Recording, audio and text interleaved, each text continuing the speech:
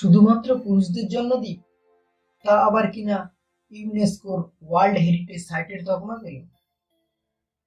হ্যাঁ জাপানের এমন একটি দ্বীপকে ওয়ার্ল্ড হেরিটেজ সাইটের তকমা দিল ইউনেস্কো ধর্মীয় এই দ্বীপটির নাম ওকিনো সীমা এই দ্বীপে মহিলাদের প্রবেশ সম্পূর্ণ নিষিদ্ধ। প্রবেশাধিকার রয়েছে কেবলমাত্র পুরুষদের, তাও বছরের একটি মাত্র দিন। প্রতি বছর সাতাশে মে, মোট দুশো জন পুরুষ অনুমতি নিয়ে এই দ্বীপটিতে প্রবেশ করতে পারে। তবে কিছু নিয়মকানুন রয়েছে।